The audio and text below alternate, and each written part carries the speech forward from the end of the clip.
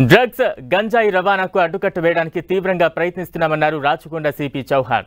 ఇతర రాష్ట్రాల నుంచి మన రాష్ట్రం మీదుగా గంజాయి రవాణా ఎక్కువగా సాగుతోందన్నారు. స్మగ్లర్లు కొత్త పంధాలో డ్రగ్స్ గంజాయి రవాణా చేస్తున్నారని అయినప్పటికీ అక్రమ రవాణాకు చెక్ పెడుతున్నామని తెలిపారు. యువత మాదక ద్రవ్యాలకు బానిస కాకూడదని చెబుతున్న రాచకొండ సిపి చౌహాన్తో మా ప్రతినిధి సునీల్ ఫేస్ టు ఫేస్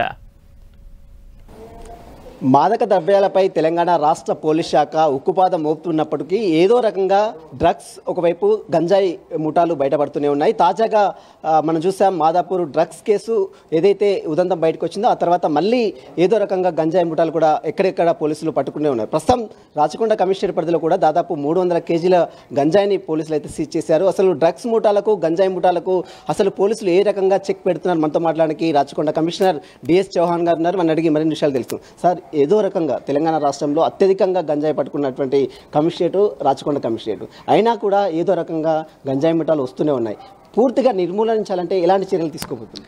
ఇది కంటిన్యూస్ అదే యాక్టివిటీ అదే ఫోకస్తో అదే ఉక్కుపాదంతో అదే పకడబందీతో మనం యాక్షన్ తీసుకుంటూ ఉంటే ఖచ్చితంగా ఒకరోజు మనం గవర్నమెంట్ విజన్ మేరకు తెలంగాణ రాష్ట్రం మాదక ద్రవ్యాలు లేని రాష్ట్రం అని తయారు చేయాలని మనం అందరూ కూడా దాంట్లో ఉన్నాము. దాంట్లో ప్రజలకి సహకారం కూడా కోరుతూ ఉన్నాము. బట్ వాళ్ళు మీరు అదే కూడా ఒక దానికి పాజిటివ్ సైడ్ చూస్తే వాళ్ళు ఎన్ని ఎత్తు కూడా మార్చుకున్నా ఎంత పద్ధతులు మార్చుకున్నా ఎన్ని రూట్స్ మార్చుకున్నా నెంబర్ ప్లేట్ మార్చుకున్నా బట్ తప్పకుండా కంటిన్యూస్ ఫోకస్ ఉండడం వలన మనకు దొరకపడుతున్నారు. గంజాయి తరలిస్తున్న ముఠాల వరకే అరెస్ట్ చేస్తున్నారు. దాన్ని లోతుగా దీన్ని సప్లై చేస్తున్నటువంటి ముఠాలను అదేవిధంగా ప్రధాన సూత్రాలను పట్టుకోవడంలో కొంత విఫలమవుతున్నారని విమర్శలు వస్తున్నాయి. దీనికి ఏం చెప్తారు?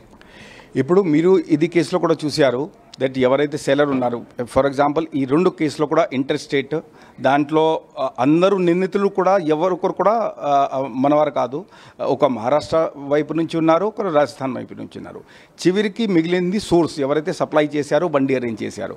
వారు కూడా ప్రతి కేసులో కూడా మనము అక్కడ వరకు రేడ్ చేసి రిపీటెడ్గా బికాస్ అది అదర్ స్టేట్ ఉంటుంది. ఖచ్చితంగా అంతకుముందు almost fifty to sixty percent కేసెస్లో సక్సెస్ఫుల్గా ఆ సెలర్ని కూడా మనం పట్టుకోగలిగాము. సో ఖచ్చితంగా సోర్స్ని సప్లయర్ని కూడా వదిలిపెట్టే ప్రసక్తి ఉండదు.